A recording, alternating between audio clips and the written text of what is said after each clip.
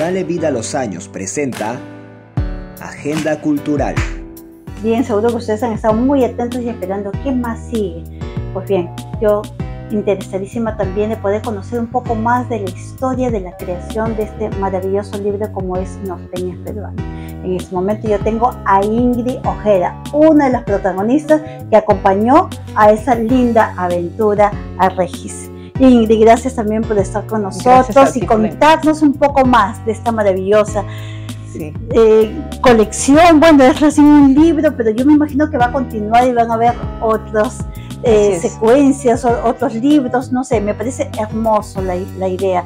Cuéntanos un poquito cómo fue tu participación en él. Bueno, yo eh, bailo marinera y la marinera me llevó a, a esto, a, a vestirme y la verdad es que siempre me incliné por los trajes tradicionales, ¿no? Eh, y bueno, te podría contar, para resumirte la historia de este, decían que no había transparencias y que no habían brillos. En aquella época.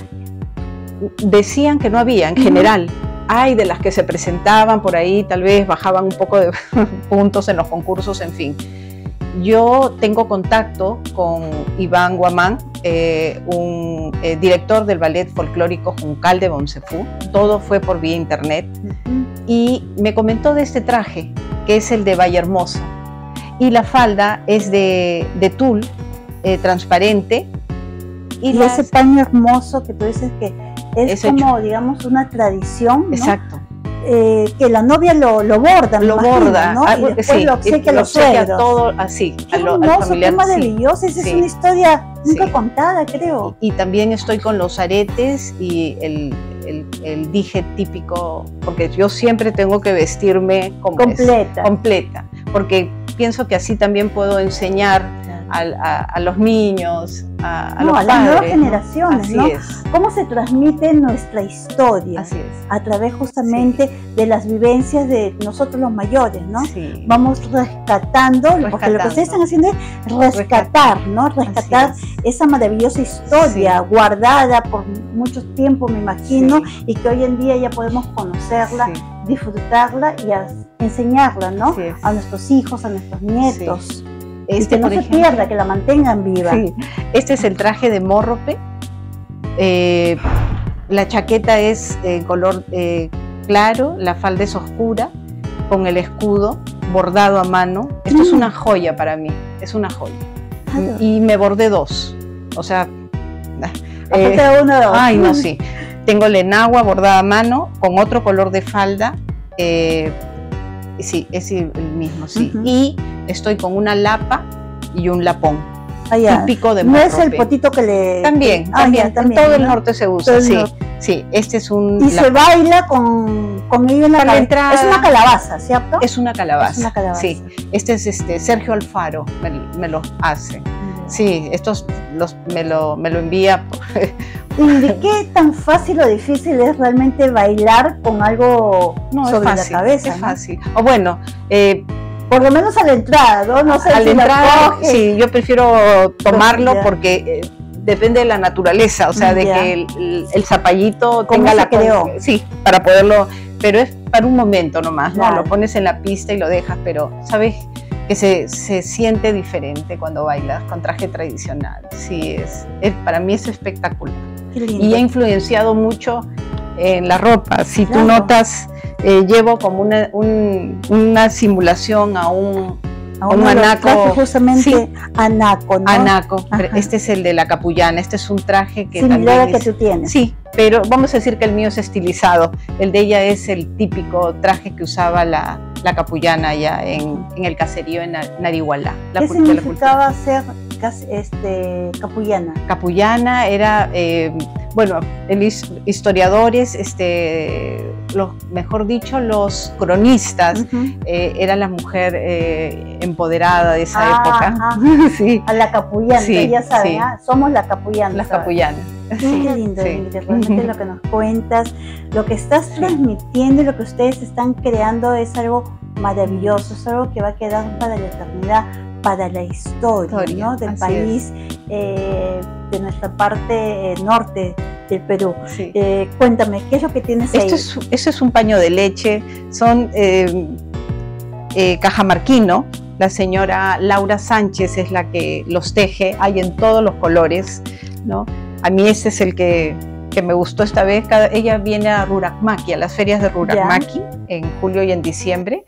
Y son los que usaban eh, eh, las, las señoras para amamantar a sus bebés, para este Qué lindo, ¿no? Me dices Sí. de que es este algodón original. original. Qué Sí, hermoso. sí, sí. Y, Y hay qué de trabajo, qué belleza, colores. ¿no? Qué Sí, belleza sí, que sí. tenemos. Bueno, realmente tenemos una riqueza en cada rincón de nuestro país. Por donde miremos, Así es. Y- tenemos- Y, yo no los guardo, o sea, los uso como ves para vestir. Claro. Yo voy a almuerzos con esto y me preguntan y me Claro, encanta que me pregunten porque no muchos usan esto, ¿no? Es y que se enteren que, que hay esta- estas obras, ¿no? esa es la verdadera pashmina. Sí, la verdadera peshmina Sí, yo creo que sí.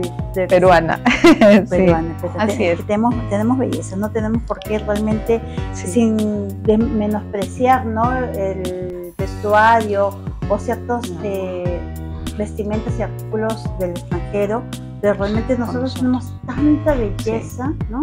Sí, tanta riqueza guardada, que creo que ya es tiempo de que lo saquemos a la así es. Sí. Ingrid, muchas gracias por No, habernos acompañado esta mañana, eh, haber compartido eh, esta riqueza cultural, porque esta es una riqueza cultural de nuestro país. Gracias, Regis, también por eh, esa extraordinaria idea de poder crear este libro. Sé que hay, digamos, eh, un equipo que ha logrado el éxito del, del libro y bueno, pronto espero tenerlos a todos redes, cómo ubican al libro, las personas que estén interesadas, cómo pueden adquirirlo, A través del WhatsApp de Regis. ¿ya? Eh, de Vamos mí. a hacer entrar un ratito a Regis para que él Sí. mismo nos lo diga, ¿sí? Sí, sí, sí. Listo. El libro lo puede, se puede adquirir a través de, nosotros lo estamos vendiendo eh, al WhatsApp 985-690-357. También eh, a través de Instagram, at Regiseco, Regis SO. Y también lo pueden encontrar en las librerías El Virrey, eh, Heraldos Negros en Barranco, Vallejo en San Isidro y Librería Cultura Peruana. Bien, bueno, la nota llegó a su fin, pero sé que lo han disfrutado tanto como yo. Dale vida a los años presenta Tu voz escucha. Bien, antes de culminar el programa no puedo dejar de mencionar y de compartir con ustedes una denuncia que nos ha llegado con respecto a un maltrato y violencia que se ejerce en el área de emergencia del Hospital Rebagliati. Un paciente acude a un centro hospitalario porque tiene un problema de salud y necesita ayuda. Habitualmente vemos con mucha eh, impotencia realmente que son están siendo violentados, están siendo maltratados, no reciben esa atención por los cuales ellos van a ese hospital, sino es todo lo contrario. Estamos eh, en una etapa dura y compleja porque vemos que los profesionales de la salud han perdido la sensibilidad. Desde los señores vigilantes hasta los técnicos, los enfermeros y los médicos se ve mucha indolencia vamos a compartir con ustedes unas notas de imágenes captadas en el Hospital Rebagliati en emergencia. Lo vemos. En los últimos años es evidente el gran deterioro del sistema de salud público, debido al abandono total que existe muchas veces por parte del Estado peruano, hacia las personas que esperan todos los días durante largas horas la atención en un centro de salud lastimosamente nunca llega oportunamente, lo que ocasiona que retornen a sus casas y regresen al día siguiente o incluso que amanezcan en estas salas de espera. Es evidente que existe un maltrato por parte de estos centros, los cuales prefieren guardar silencio y no dar la cara muchas veces al ser consultados sobre por qué siguen ocurriendo estos hechos y prefieren dejarlos a su suerte, sin importarles su condición o edad. Constantemente se han evidenciado estos incidentes en el Hospital de Emergencia Edgardo Rebragliati de Lima. Realmente es increíble y es indignante, ¿no? Esta violencia ejercida de esta forma en los hospitales es, nos deja sin palabras, ¿no? Pacientes con cáncer, pacientes con accidente cerebrovascular, pacientes eh, de nefrología, pacientes que están eh, yendo por una enfermedad eh, muchas veces prácticamente ya a las últimas, pacientes que vemos que ven adoloridos por Dios y no hay camillas. Y por último no hay ni silla de ruedas porque se tienen que tirar al suelo porque sus cuerpos por esa enfermedad, por ese dolor ya no les permite ni siquiera estar sentados. ¿Qué es lo que está pasando?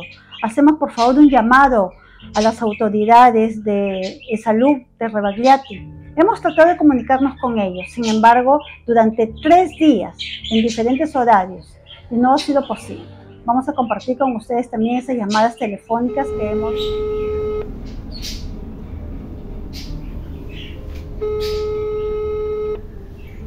Bueno, estoy llamando a la oficina del doctor Luis Hurtado Samaniego, el gerente de operaciones de salud.